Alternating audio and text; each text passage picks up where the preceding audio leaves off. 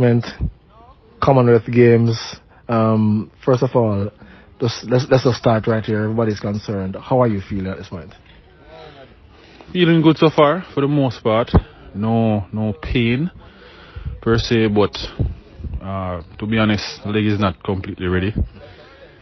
But you know, we're doing tests here and there, um, taking it slow, not not trying to to overdo anything. So you know, we have a few more days, so we're going to watch it and see how it develops. Right. Um, you know, must have been a, a really tough experience for you in Eugene. Definitely a favorite for a medal. You know, even a gold medal. Um, just take us through that moment when you realized you would not be able to, to, to compete. Well, it's a, it's a very disappointing moment. Um, you know, I, I think supporters and, and, and well-wishers were even more devastated than I was, to be honest. Um, I, I quickly came to, to grips with, with the situation because I realized, all right, a cramp like this, there's no way I'm going to be able to run normally. And my first thought was, it, it don't make sense to beat up myself because um, it basically behind me. And, and, that's how I approach the situation and I just try to see how best to, to move forward and, and, and make the leg better. But trust me, it, it, I know what I could have done. I was fit. I was feeling really good. I think I was executing very well, especially even the start where I've had problems over the years.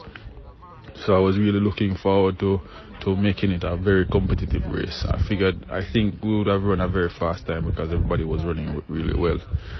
But um, I guess God is not ready yet for, for us to deliver, deliver the fast time. So I have to just um, wait a little bit, make sure that I am in good health, and then take it on again.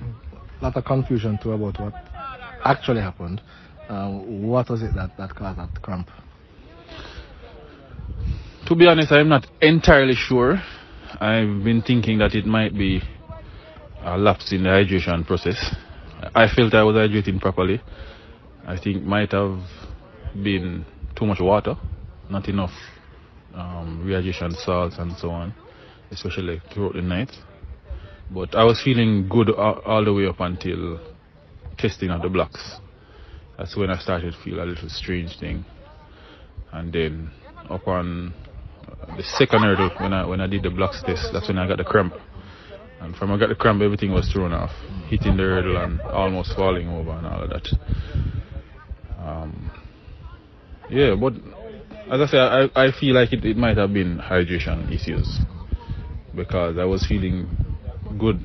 Even the warm up, you know, after the semifinals, I was everything was good. There was nothing, no indication that something was off.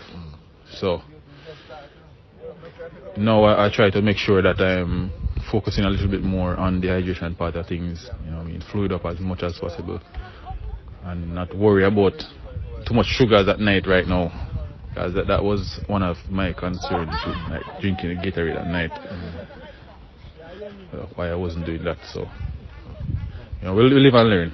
Uh, final question. I mean, it's not quite, it's not quite a consolation, you know, the Commonwealth Games and the World Championships, but it, it, makes, of course, this assignment more important for you, right? I'm sure.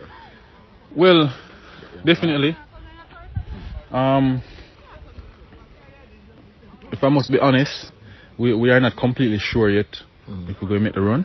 Mm. As I said earlier, we're still watching it, still um, taking baby steps forward to make sure that the leg is good because I don't want to put myself in a position where I make more damages and then out for the rest of the season and then a very slow start to prepare for next season, which is also another important year.